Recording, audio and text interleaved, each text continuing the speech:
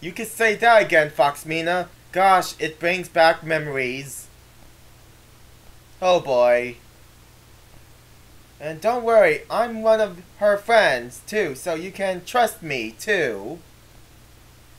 yeah, cause something is not right if we go there. Yeah.